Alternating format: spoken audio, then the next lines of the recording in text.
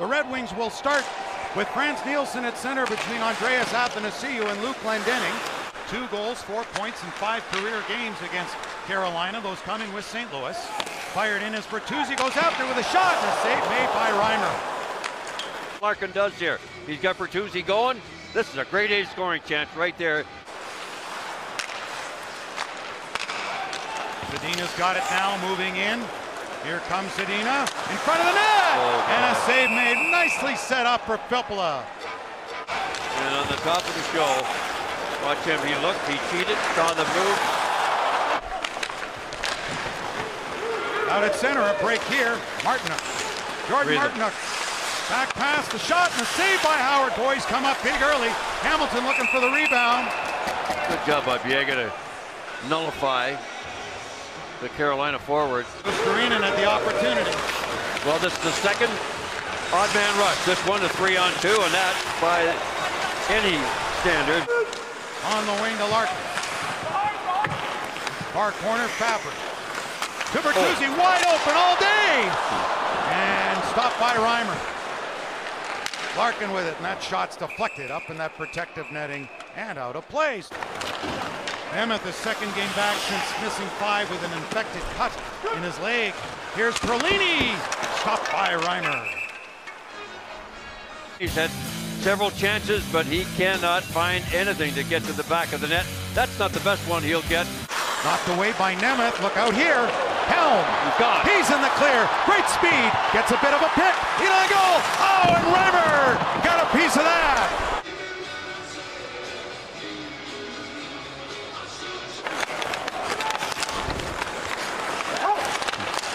Zadina, good pressure there. Helm is in. Oh, it gets God. blocked and then rolls through, and Reimer holds on. Vine into Hamilton. Skate the stick, puck bouncing. Glendening tries to clear. He will to Oh. Nielsen. Got a break here. Oh, Stumbling Svechnikov. Nielsen in on goal. Saved by Reimer. Svechnikov for Teravainen. Barajo. Off the Oh. backboards, out front, they score! wow. They bang it in! That's about as crazy Off the kick plate out front, and the Hurricanes drove the net. Howard couldn't find it, and Carolina finds themselves in a 1 0 lead. The end boards, like a pool table bounce. I mean, it came off a cushion like crazy. And it hit Howard. And the only guy that could find it was Aho, number 20.